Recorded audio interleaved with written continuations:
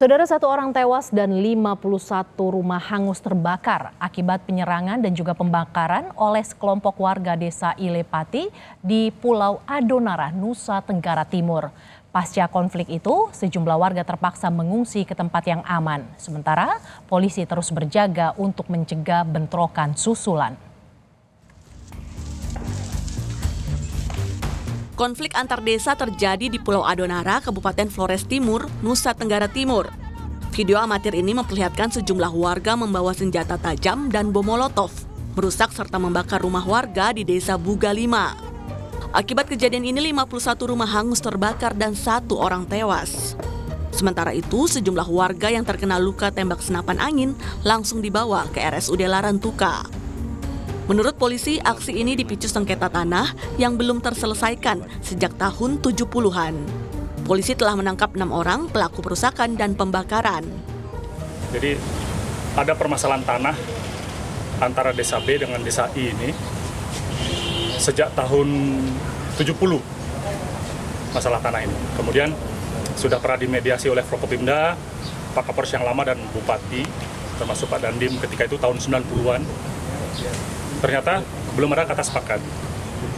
Bulan Juli 2024 dilakukanlah uh, mediasi dan juga pengukuran dari BPN.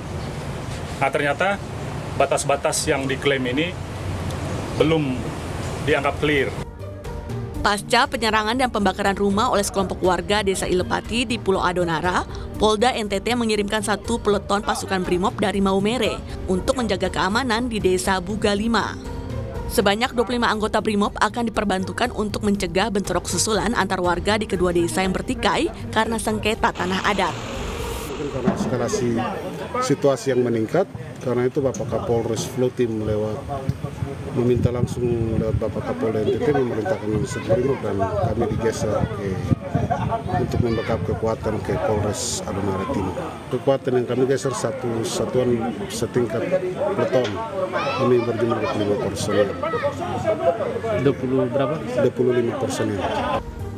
Saat ini sebagian besar warga, terutama anak-anak dan perempuan desa Bugalima, mengungsi ke desa tetangga.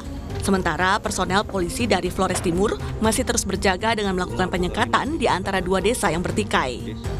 Citos Natun, Kompas TV, Sika, Nusa Tenggara Timur. Untuk mengetahui kondisi pasca konflik warga antar desa yang terjadi di Flores Timur, Flores Timur, Nusa Tenggara Timur, kita akan terhubung dengan jurnalis Kompas TV Citos Natun yang saat ini berada di Sika, NTT. Selamat siang Citos, bagaimana kondisi terkini pasca penyerangan dan pembakaran yang terjadi di desa Bugalima, Citos? Baik, selamat siang Mercy dan juga saudara. Uh, memang sejak kemarin uh, situasi di Desa Bugalima cukup mencekam di mana uh, sejumlah orang dari Desa Ilepati datang menyerang bah bahkan membakar 51 rumah yang ada di Desa Bugalima.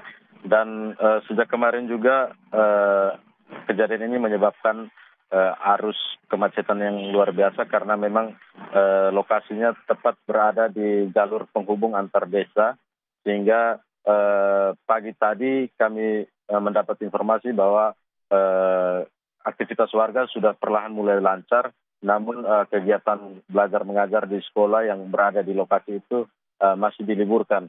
Dan untuk saat ini uh, para pengungsi uh, dari Desa Bugalima sendiri dititikkan, dititikkan pada dua tempat yakni uh, dua desa tetangga yang berada di dekat Desa Bugalima dan juga di kebun-kebun warga. Uh, sejak eh, tadi malam pemerintah desa dan dinas sosial juga telah eh, mengirimkan bantuan berupa bahan makanan dan juga eh, alas tidur bagi warga di pengungsian. Eh, untuk saat ini juga eh, pemerintah desa eh, menjamin bahwa eh, situasi di sana sudah kondusif karena eh, 30 menit lalu tadi kami mendapat laporan bahwa tim dari Brimob Maumere Kabupaten Sika telah sampai di lokasi untuk mempertebal uh, pengamanan di mana mereka akan melakukan penyekatan antara kedua desa yang bertikai ini. Merci. Sudah ada personel BRIMOB yang datang, lantas bagaimana uh, pengamanan yang dilakukan uh, saat ini di sana, Citos? Baik, untuk pengamanan sendiri, Mercy dan juga saudara, uh, selain uh, BRIMOB, ada juga uh, satuan dari uh, Polres Flores Timur dan juga uh, aparat TNI di uh, Kodim 1624 Flores Timur. Uh, kemudian uh, kami dapat menginformasikan bahwa hingga saat ini sudah ada 11 orang terduga pelaku yang merupakan yang melakukan aksi uh, ke, ke, uh, anarkis pada hari kemarin. Uh, saat ini mereka telah dibawa dari uh, Pulau Adonara menuju ke uh, Polres Flores Timur untuk dimintai keterangan. Polisi juga telah menyita sejumlah senjata tajam yang kemarin digunakan untuk melakukan penyerangan itu.